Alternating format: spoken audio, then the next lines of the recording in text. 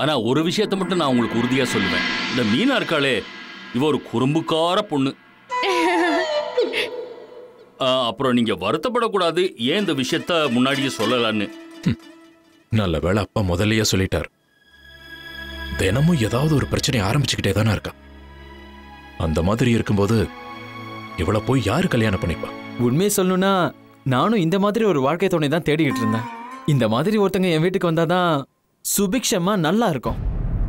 ஆஹா ஆ, அதாவது இந்த மாதிரி ஒருத்தங்க தான் தலையில முக்காடே எடுக்காம ராத்திரி முழுக்க இருபத்தி நாலு மணி நேரமும் கிச்சன்லயே இருப்பாங்க. ஆ, அமித் மீனாவோட முக்கியமான குணத்தை பத்தி சொல்றதுக்கு நான் மறந்துட்டேன். இவளுக்கு இந்த கடவுள் நம்பிக்கையெல்லாம் ரொம்ப அதிகமா இருக்கு.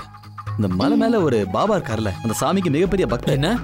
மலை மேல இருக்கிற பாபா பக்தரா? ஆ. நான் ஒரு விஷயத்த உங்ககிட்ட சொன்னா நீங்க யாருமே இதை நம்பாம கூட போகலாம். என்ன? நீங்க இவங்கள பத்தி ஒவ்வொன்றும் சொல்றத கேட்கும்போது எனக்கு இவங்கள ரொம்ப பிடிச்சு போச்சு. ரொம்ப நல்ல விஷயம்ப்பா. அம்மா ஹா, கொஞ்சம் மெதுவா. கொஞ்சம் அதிகமா பண்றானோ? ம். எங்க அம்மா இருக்காங்கல்ல அவங்க பாபாவோட தீவிரமான பக்தர். பரவாயில்லையே. நீங்க எல்லாம் சொன்னதை கேட்டதும் எங்க அம்மாக்கும் இவங்களுக்கும் நல்ல பொருத்தமா இருக்கு. ஆ எனக்கு இந்த விஷயத்த நினைச்சா ரொம்ப சந்தோஷமா இருக்கு. சரி உட்காருப்பா உட்காரு உட்காரு. ஆமா நீ உட்காருப்பா. எங்களுக்கு உண்மையிலே ரொம்ப சந்தோஷமா இருக்கு. நீங்க மனசுக்குள்ள எதையுமே வச்சுக்காம பேசுறீங்களே. சரி அப்ப நீங்களே சொல்லிடுங்க. எப்போ நாம கல்யாணத்தை வச்சுக்கலான்னு என்னென்ன செய்யணும்னு சொல்லிட்டீங்களா? நாங்க அதுக்கெல்லாம் தயாராயிடுவோம். சரிங்க. முடிஞ்ச அளவுக்கு நான் எங்க அப்பா அம்மாவை சீக்கிரம் இங்க வர சொல்லிடுறேன். அதுக்கப்புறம் நிச்சயதார்த்தத்தை கையோட முடிச்சிடலாம். என்ன சொல்றீங்க? ஆ நீங்க சொன்னா சரிதான்.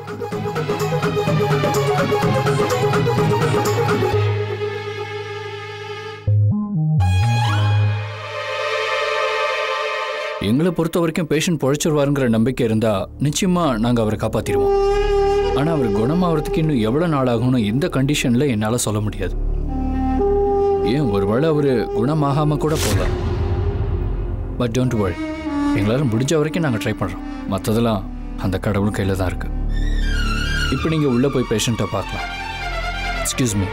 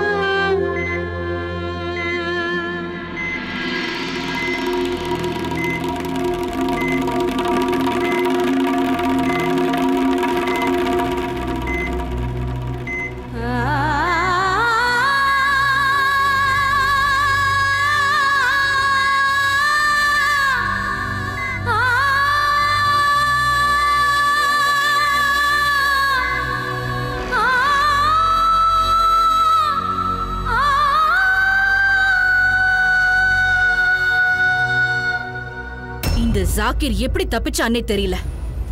இன்ஜெக்ஷன் போட்டதும் அவன் செத்துருவான்னு சொன்னாங்கல்ல அப்படி இருந்தும் எப்படி அவன் தப்பிச்சான்? தெரியல. எனக்கு எதுவும் தெரியாது.